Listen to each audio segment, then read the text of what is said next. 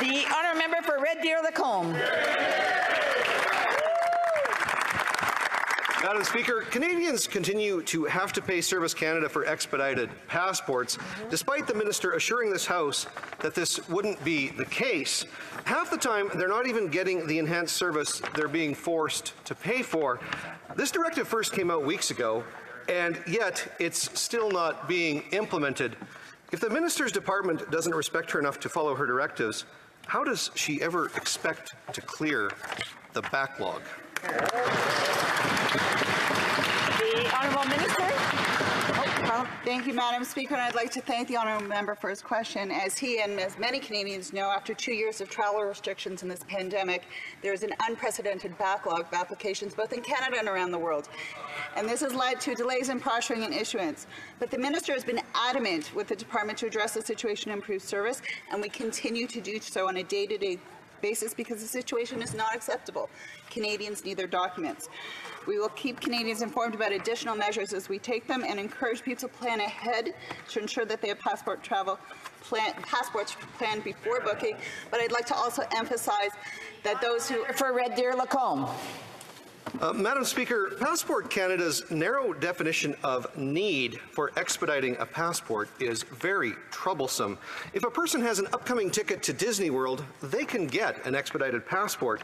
If someone is pleading to expedite their passport so they can fly to say goodbye to their dying parent, or go to Europe to help their scared elderly mother escape from Ukraine, well, that isn't really an urgent need according to Passport Canada. So if the minister can't be competent, can she at least try to be compassionate?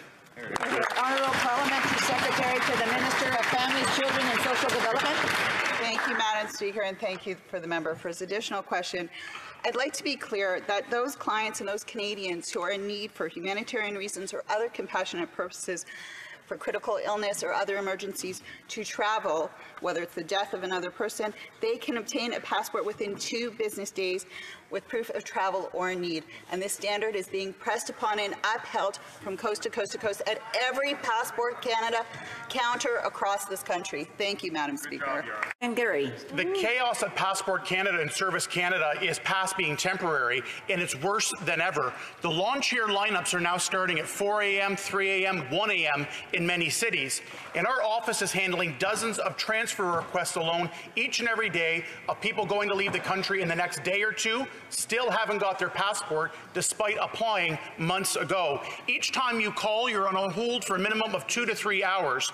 The chaos never had to happen in the first place, and each time the Liberals offer a remedy, we get longer lines and longer phone call delays. Can the Liberals even admit what their actual service standard is now, or are they too afraid to tell Canadians?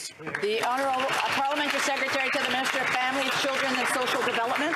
Thank you, Madam Speaker, and thank you, the member, for his question. Madam Speaker, since December, Service Canada and Passport, our passport agents have been preparing for what we have now. The surge is unprecedented, and we continue to work through the process. Just for an example, 600 new employees have been hired and are on the job. Another 600 employees are, are, in the process of being put into place. Every counter across this country is open.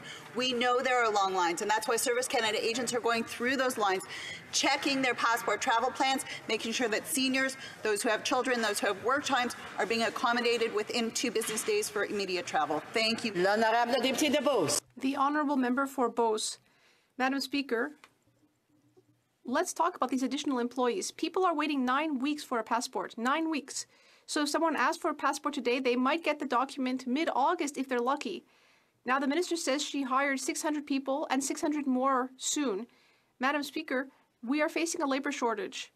Businesses in my region are having trouble finding even one person. And the minister is trying to tell us that she can find 1,200 people in the blink of an eye?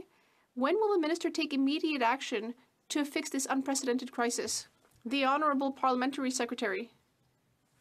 Thank you, Madam Speaker, and thank you, the member, for his question. Madam Speaker, as I've mentioned before, additional processing facilities have been opened, initial staff have been hired, but this is not unprecedented just here in Canada, it's around the world. Wait times in countries like Australia, the UK, and elsewhere are anywhere between 11 and 9, 9 to 11 weeks for expedited passports. Here, Canadians are, we are meeting the challenge of Canadians both in the lines and in our application process to make sure that those who have immediate travel needs are being addressed so that they can get on their way. Thank you, Madam Speaker.